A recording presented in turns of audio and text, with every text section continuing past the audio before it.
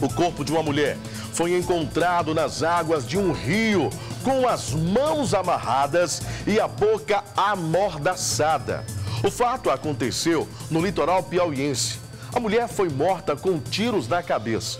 Quem tem as informações para nos trazer é a voz da informação. Sérgio Alor, decola comigo, balança. Um corpo de uma mulher, ainda sem identificação, foi encontrado nas águas de um rio, num local conhecido como Porto do Rogério, no bairro Santa Luzia, na cidade de Luiz Correia, litoral do Piauí. A Polícia Militar informou que o corpo foi encontrado por moradores da região. O corpo tem características de ter aproximadamente 30 anos. A polícia, ao encontrá-lo, isolou o local e acionou o Instituto Médico Legal, além da perícia técnica.